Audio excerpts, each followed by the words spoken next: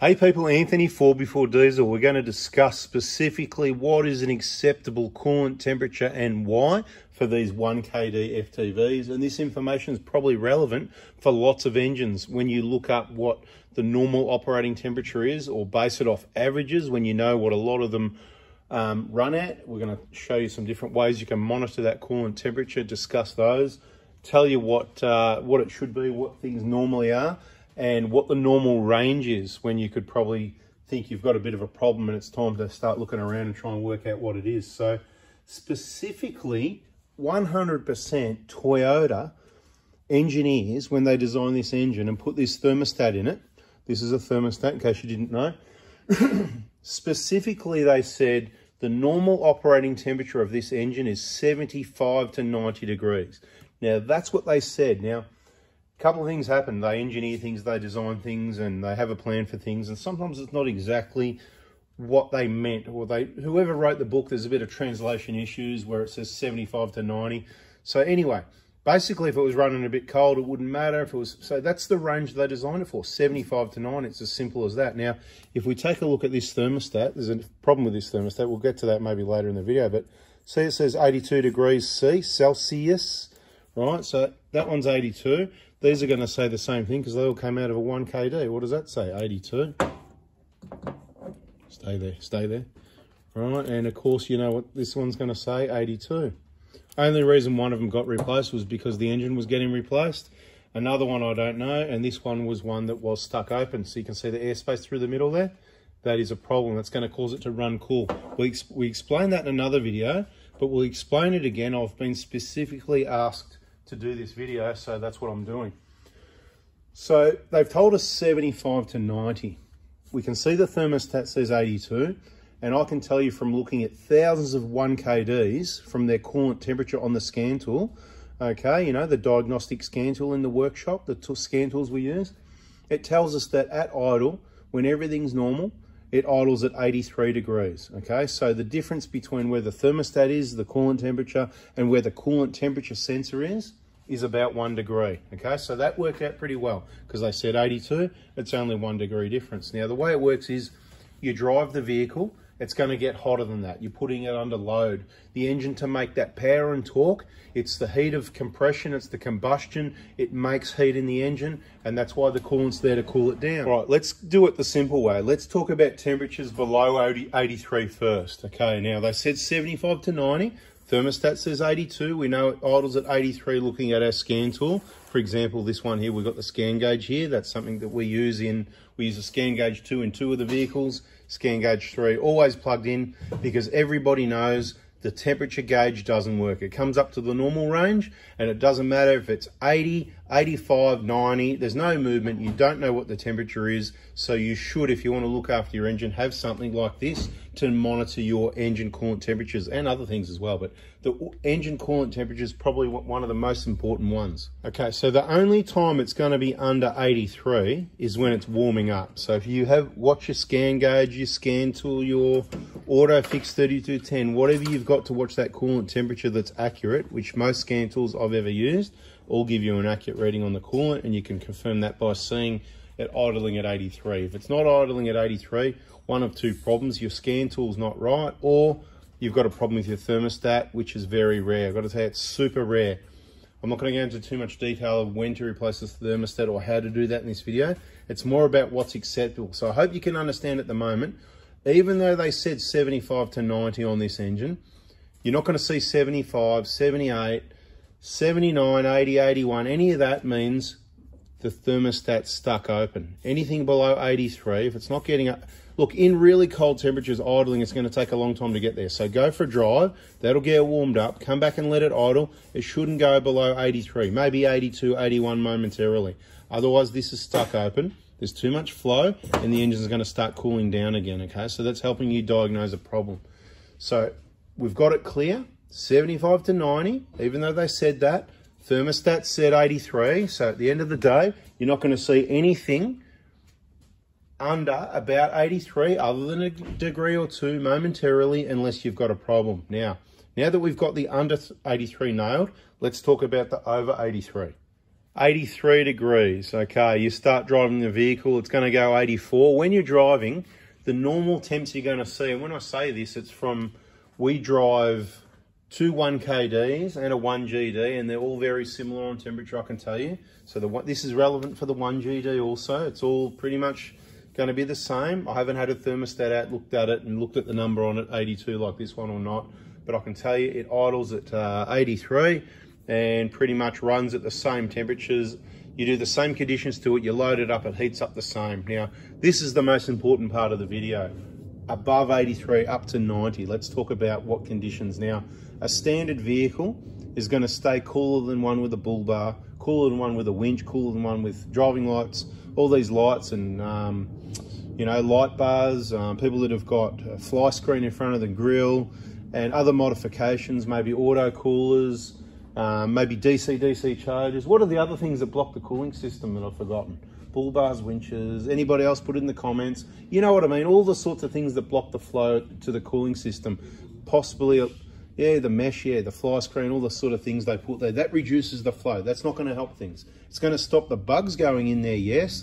And in some circumstances, you need to do things like that in certain areas temporarily and you probably need to drive at reduced speeds and take care because you're not you've you've modified and reduced the effectiveness of your cooling system. We've talked about the cooling system in many videos. Um, yep the driving lights and all that. Yep all that stuff. It all adds together. Now even bull bars because they block a lot of the flow and that flat plate underneath. Um, so look at the end of the day take that into consideration. But generally when you're driving these vehicles they're going to run at about, most people would agree they see 85, 86 degrees on their scan gauge or whatever they've got there. Um, normal driving, so decelerating down a hill, it will go as low as going back to 83 degrees because there's no load. So if you look at the load reading on your scan gauge, not only are you looking at your injector condition at idle only, obviously at idle, but when you're driving, the higher the load, just think of that as simple as that is, a load on the engine. The more load there is on the engine, the more temperature you're going to have both EGTs, exhaust gas temps, which you won't see on this most likely, particularly on a 1KD. You can see EGTs on the Scan Gauge 3, the next model up, you know, the one with a colour touchscreen. It's about this big. We've got in other videos. Check out that playlist, you know, scan tools and stuff like that if you want to work out which one to have. Because I've said it before, everybody should have something to monitor these temperatures, to scan and clear codes because the code gives you a good direction to what's wrong with the vehicle. You've got no idea where to look without a code. We can't help you. It's all about having a code. Don't bother replacing your thermostat. We've talked about that. Search our videos thermostat. Now, so they set up to 90. So I'll back them up and I'll say, to be quite honest, in my vehicles, the 1KDs, rarely do I see 90. Let's go to the 120 Prado because I've done over a couple hundred thousand Ks in that in the last few years, in the last less than 10 years. So I've got a lot of experience. I've seen it out on the tracks, I've seen it out on the deserts, I've seen it on beaches, I've seen it towing, not towing, I've seen it in 45 degree heat, I've seen it in the colder wind, I've seen the whole, everything. And to my memory, there's probably only been a handful of occasions I've ever seen it over 90 degrees, okay? It's got an ARB bull bar, it's got a light bar there, it's got a K-on underneath the front of the ARB bull bar, there's a K-on there's a plate there that I've replaced the ARB plate with a cone It's got some extra holes for airflow, right? So airflow is everything. The number plate, if I'm in hot conditions, I'll even uh, move the number plate out of the way of that gap in the ARB because it's designed to have air to go in there. But half of it's blocked with the number plate. You know what I mean? I'm not going to go camera to there and show you. Go and have a look at the front of an ARB buller. You'll see a slot cut through the middle, and then you'll see the standard number plate mounting points. Um, usually goes below that, and it blocks over the winch but you can also mount the bottom of the number plate, blocking the whole of the airflow to the radiator, which I don't mind that. On our 120, it still stays under 90. So most commonly we'll see 85, 86 is your normal in your cooler climates. If it's a bit warmer or you're working a little bit harder, you're going to easily see 87 or 88. There's nothing wrong with that, okay? You think this video is taking a bit long? Well, that's because I've done it before. People missed it or whatever the case. So I'm going to keep saying it again and again to get it into your heads. This is the information, and I'm not doing it again, okay? This is it. So stay tuned. 87 to 88 is going to be quite common. If you're up in Queensland, Northern Territory, WA, up in these hotter climates, you're even going to see 88, 89 all the time. You're going to see 90 all the time. Now, The Hilux is a bit different. The radiator, the cooling system's a bit smaller. And I've got to tell you, and that's why we own a Hilux as well, because I wouldn't know to tell you, because road testing vehicles, looking on the scan tool and all of that doesn't teach me and allow me to know what I know by owning the vehicle, driving at hundreds of kilometers, thousands of kilometers, on highway runs, on short trips. I need to do that to really get to know the vehicles and understanding the vehicles and using them in those sort of tests gets me fully educated to share the info for you guys. What I'm getting at is the Hilux, once again with just an ARB bull bar, no light bar, it's got a winch there, but it didn't really matter. Even before the winch, nothing changed. Quite regularly we'll see 90, 91, okay? So when we're on the 100, 110 zones, it's got less torque, it's a detuned engine compared to the Prado, so it's working a bit harder to maintain those 110-ish, let's say, 110-ish type highway speeds up slight hills and all that and quite regularly, other than in the cold weather, other than in the cold weather, right? That means in the cold weather it stays pretty cool, 88, whatever, not too bad. But it'll easily, once it warms up a little bit, be seen around 91, 92 degrees. I don't like it. When I see that, I want to back it off. I want to slow down. And that's what I do when I let it cool down because I remember what Toyota, the engine design, the manufacturer, the engineers said 75 to 90. So I don't like much over 90 at all whatsoever. Okay, so when I see by watching on my scan gauges 90, I don't have a panic attack and go, oh no, it's 91, it's 92, quick, pull over, stop the vehicle. And that will cool it down. Sitting there idling, it'll come back to 83. What's happening is the engine is working harder than the cooling system's capacity to cool it down to 83, right? So the thermostat here, it's fully open the, the coolant's flowing, everything's in peak condition, it's got airflow, but it just hasn't got the efficiency there to take the heat out as fast as what it's being made. So the way you help that is you reduce the load on the engine, you slow down, or you look at the front of the vehicle and you go, how on heck earth is this supposed to work with all these things in the way? And you just got to get rid of it. You've got to clean it out. You've got to do the BFE job, reverse flush all that dust, bugs, dirt and debris reverse flush out of the radiator and everything every 150,000 Ks or eight years, whichever comes first. That's a big contributor. You've got to look at what you've put in the way of the flow. You've got to get rid of it. But then apparently there's people talking about 92s, 95s, 100 degrees. If people are driving around 100 degrees, they've got rocks in their head. Because I'm telling you now, I own two 1KDs and between the both of them, I have never seen more than, to the best of my knowledge, ever on either vehicle, 92 degrees okay? They've both got ARB bull bars, so they're not standard. Now, on the 1GD 2022, it's a smaller engine. It has to work hard. It creates more heat to get the job done. I regularly see it. It's kind of always at 88 or more. It doesn't really run at the 85s or 86s the 1KDs do. Um, it's up to 90 really easily. It even gets to 92 really easily, right? So it really does get up to 92 degrees. And that's the temperature. It's consistent across the three vehicles, including the other one GD and any others we've driven on the long distance. 92, 92 is the magic top number. Now, some people are going, well, is 95 okay? Is 100 okay? Well, going by the um, engineers, oh, thanks. You must have known I needed a drink. Cheers. Nice cold one. Thank you.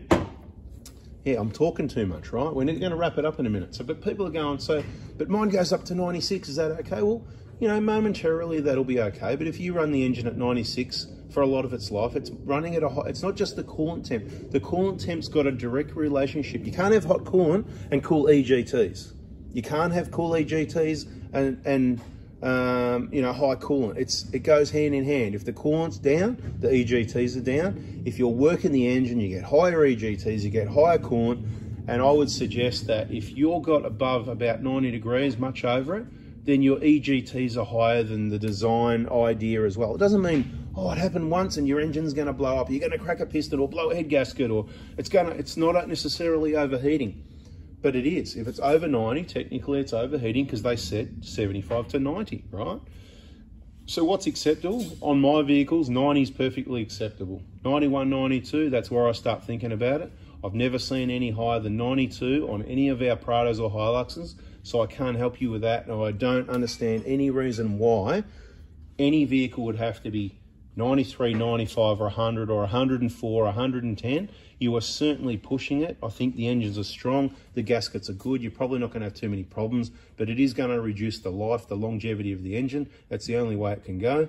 So I've finished talking now. Go and grab yourself a beer because I'm going to finish this. And scan gauge, if you need one, AZ Scanners in Australia is one of the leading um, suppliers of diagnostic scan tools and scan gauges, that sort of thing. You can monitor the coolant temp. You can also monitor the transmission temperatures in a lot of vehicles. You may have to do some work and add in those codes.